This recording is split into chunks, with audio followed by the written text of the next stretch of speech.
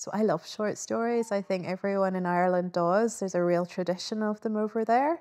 And I've always said that I am definitely a novelist. I really like the big form, but I'm also very easily distracted. And when I'm writing a novel, I often get little ideas and my imagination comes up with characters. And if I don't put them into short stories, they start to infiltrate into the novel.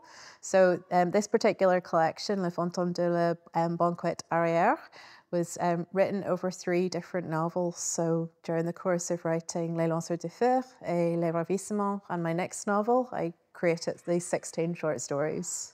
So The Ghost of the Back Seat is a story about a, a little girl who um, accompanies her grandmother around the kind of border area of Northern Ireland during her summer holidays as her grandmother sells luxury jam to shops.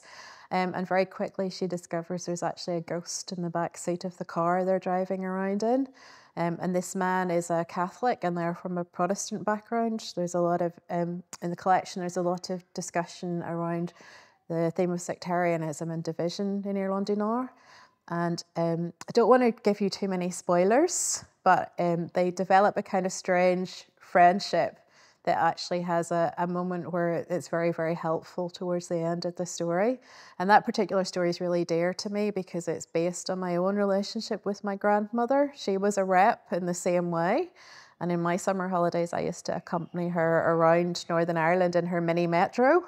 But we weren't selling luxury jam, we were selling chicken.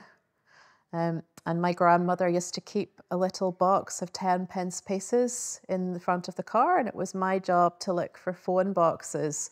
And we would phone home to tell my grandfather that we were okay.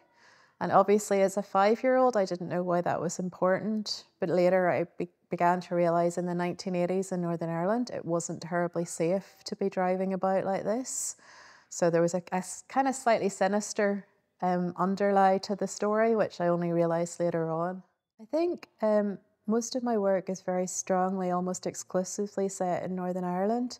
Um, and Northern Ireland is a strange place. It's almost a, infused with this sense of, um, I say, Be- Beckettian, like Samuel Beckett kind of absurdity, just how we do politics, how we do life. Um, and I think a lot of what happens in Northern Ireland is it almost happens at the end of the possible. So it's not quite supernatural, but it's so flippin' weird that it sometimes feels like it is. So, you know, in the summer, we have these enormous big bonfires that we light, we march, we dress up. The way we do humour, it's all extremely absurd. So it's it's often seems quite, quite natural for me to tip over from realism into the supernatural because every day I have to occupy this space that toes both lines. I guess I, I'm a massive Flannery O'Connor fan, and Flannery O'Connor has this beautiful essay where she talks about the difference between a local writer and a provincial writer. Um, and that, you know, a really good writer about place writes in such detail and with such kind of contemplation and um, context as well that the, the themes that are very specific to a place like Northern Ireland take on a kind of universal resonance.